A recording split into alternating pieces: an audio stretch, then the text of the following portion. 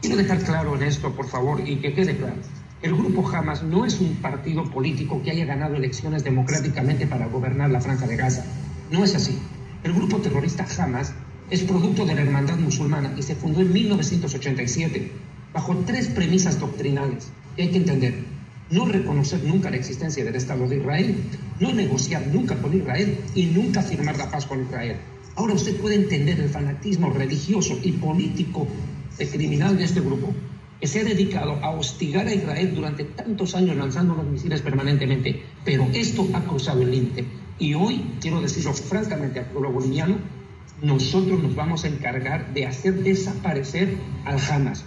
El conflicto no es con Gaza, no es con los civiles de Gaza, es con estos criminales que no solo tienen secuestrada gente de muchas nacionalidades, sino que han secuestrado a su propia población y los han usado como escudos humanos durante todo este tiempo.